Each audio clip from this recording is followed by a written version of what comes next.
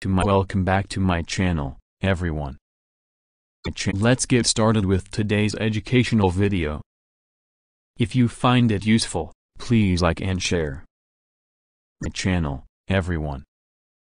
Let's get started with today's educational video.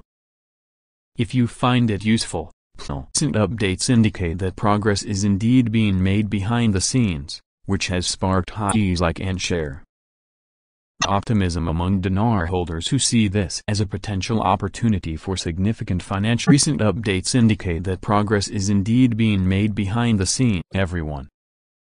Let's get gain.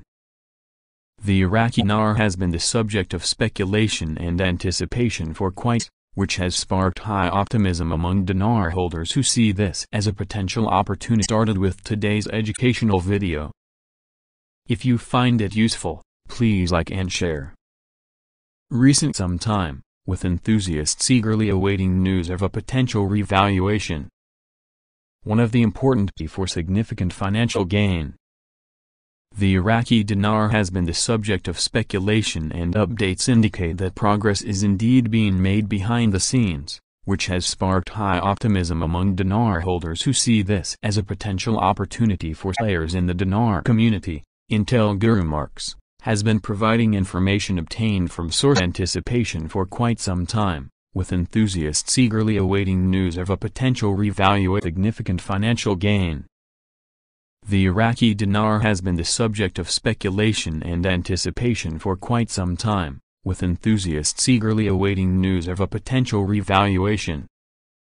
One of the important players in the dinar community, Intel Guru MarkZ, has been providing information is inside Iraq such as bankers. According to MarkZ, there is a lot of activity going on. One of the important players in the dinar community, Intel Guru MarkZ, has been providing info obtained from sources inside Iraq, such as bankers. According to MarkZ, there is a lot of activity going on, suggesting that preparations are underway. For the RV are under progress however, MarkZ has not specified a definite date for the revaluation. Instead, he has given a wide window of time, from as early as June, suggesting that preparations are